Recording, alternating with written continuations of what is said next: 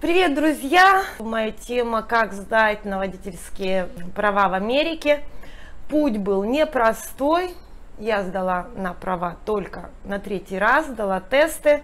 Но я начну издалека, потому что когда я приехала в Америку, вообще в моей жизни все складывается не просто, когда мне говорят «нет», я говорю «да». Иду шаг за шагом, пока не получаю как, какого-либо результата. Так же было и когда я приехала в США. То есть некоторые люди мне говорили, не подавай на политическое убежище, что ты вообще себе задумала, тем более без адвоката, но я приложила огромные усилия, в результате ни одного дня здесь, в США, я не пребывала нелегально.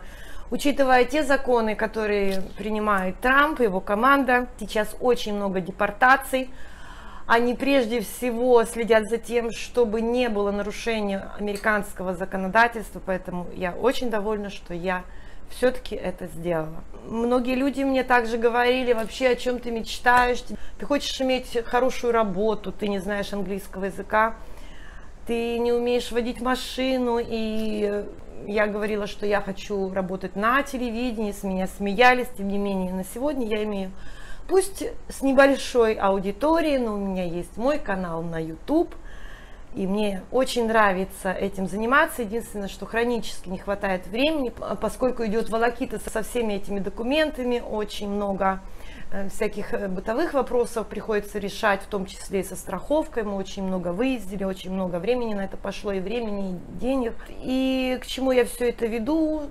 Тому, что нужно шаг за шагом что-то делать, не останавливаться, никому не верить, верить только себе, верить в свой результат. Также получилось у меня и э, с тестами на вождение.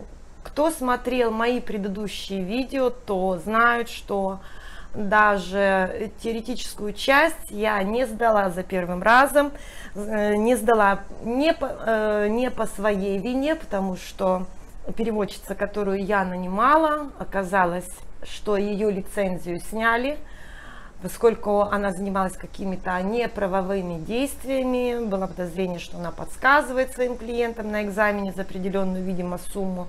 И в результате мой теоретический экзамен за первым разом мне ликвидировали. Для меня это был полный шок, приходилось все заново учить, приходилось э, искать нового переводчика. Я даже ездила к офицерам, которые затеяли все это дело, собиралась даже подавать на суд, пережила страшный стресс.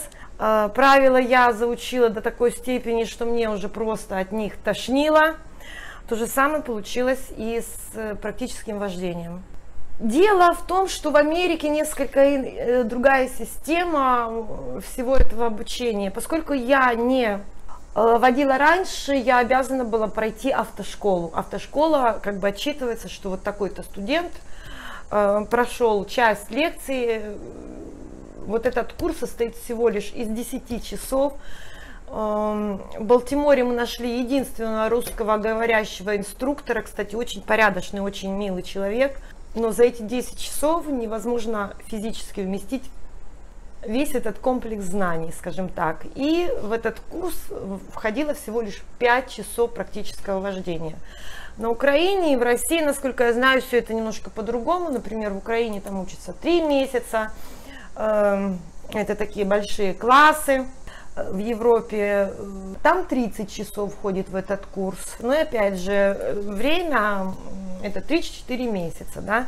У меня всего лишь было 10 часов э, теории и 5 часов практики. Все остальное, как бы, если тебе не хватает э, знаний, ты можешь нанимать дополнительно за дополнительную плату инструктора, он тебе будет все показывать, рассказывать. Естественно, я тоже нанимала этого инструктора.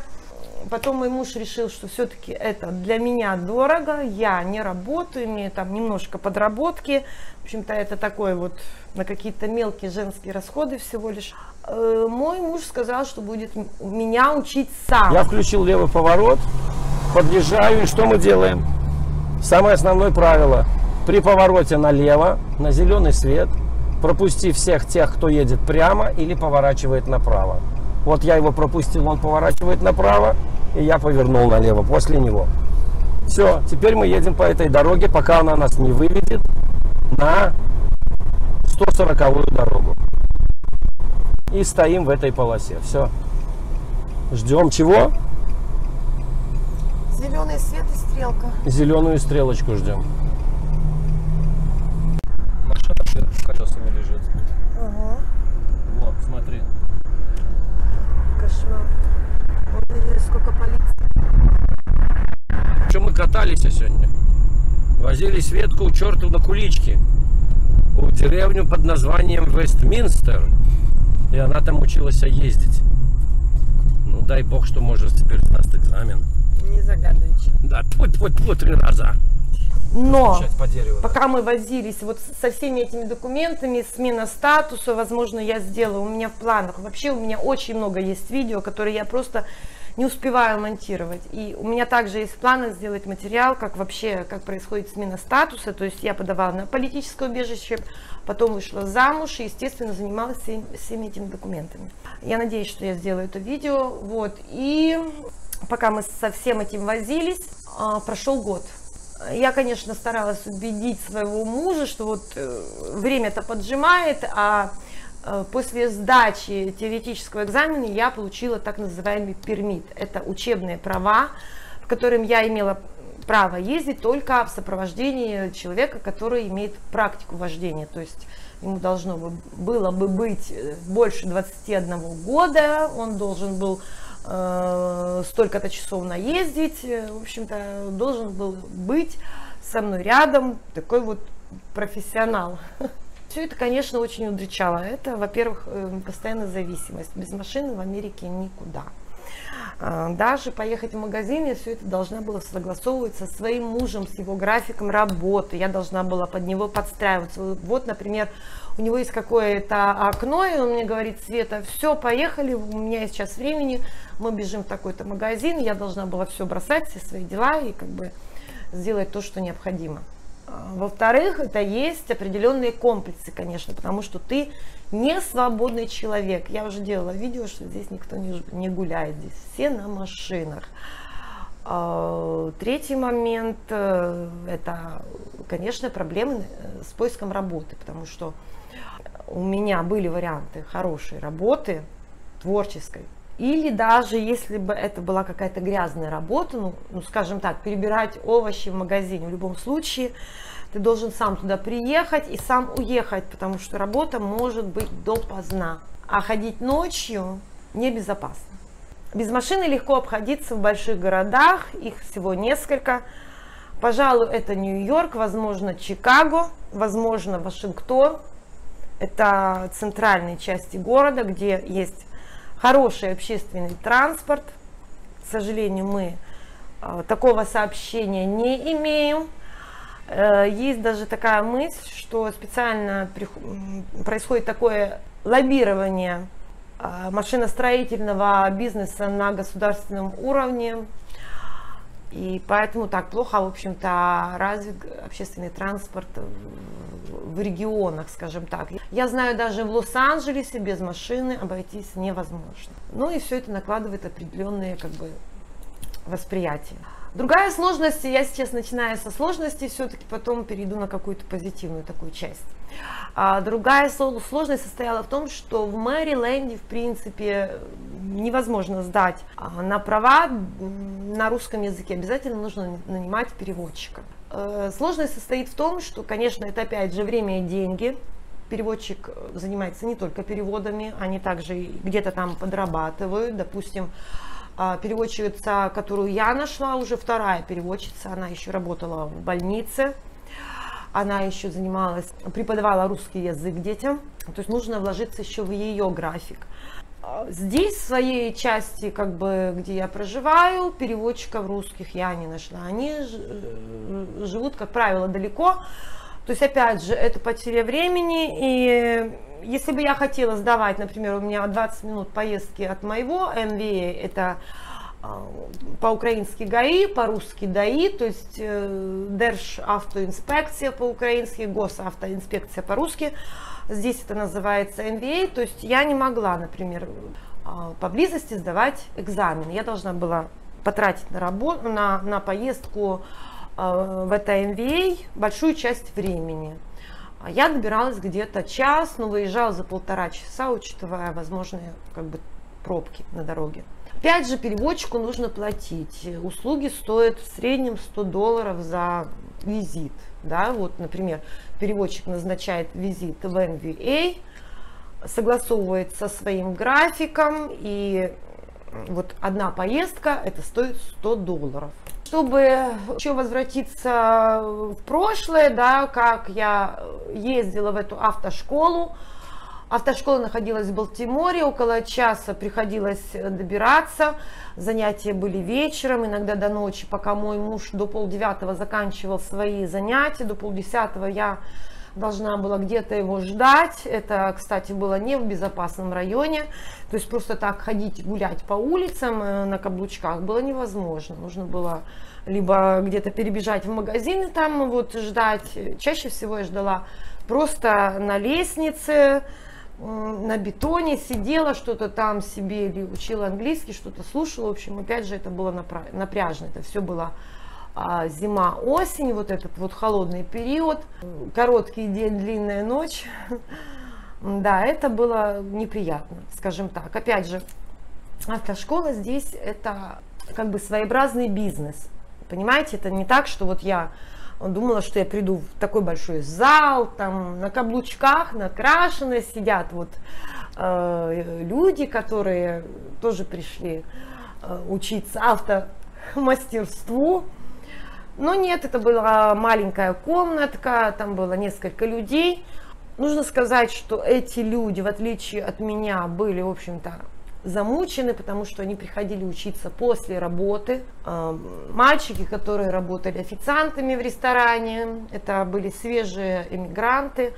А девочки, которые работали в русских магазинах, для них, конечно, это был, ну, я считаю, я на тот момент не работала, это, конечно, люди вообще большой силы воли, я бы сказала. Я на них смотрела, и это меня какой-то степени тоже вдохновляло. Что вот у меня все-таки лучшая ситуация, чем у этих людей, которые вынуждены еще себе зарабатывать на жизнь.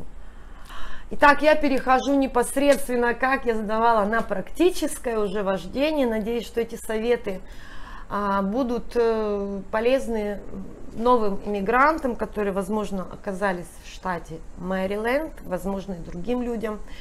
И сейчас я постараюсь э, дать некоторые подсказки, как нужно действовать, как нужно не отчаиваться и все-таки шаг за шагом достигать своей цели.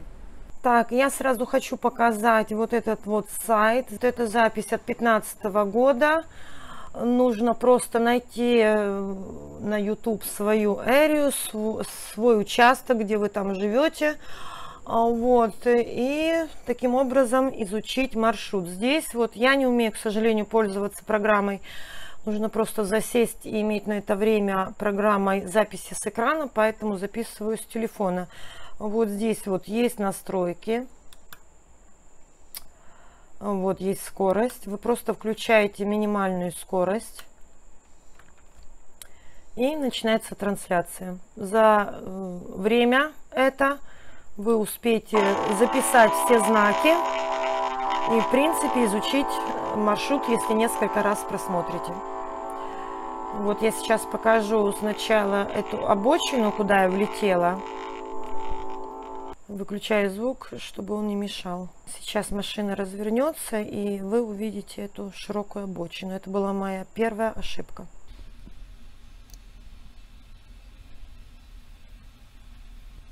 Так, делаю стоп. Вот, вот это и это обочина. Я поехала по вот этой линии вперед. И где-то там на каком-то из перекрестков меня просто инструктор завернула я даже не успела проехать весь маршрут.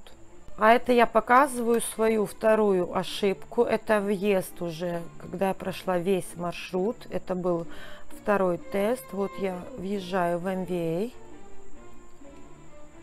Вот видите эту полосу? Здесь э, слева желтая двойная. Сейчас она покажется. Стоп, я делаю стоп. Значит, я подумала, что здесь какие-то гаражи вообще а, какая-то другая часть, может быть, даже, а, не знаю, там спальный какой-то район. Видите, желтая двойная обрисована нечетко. Я въехала с этой стороны, вот так вот здесь проехала. И меня инструктор завернул и спросил меня, или я поняла свою ошибку. На тот момент я ничего не понимала, пока не просмотрела весь этот маршрут, пока не проехала с мужем. Вот. Нужно было заезжать вот по этой линии. Правостороннее движение, вот он въезд в МВА.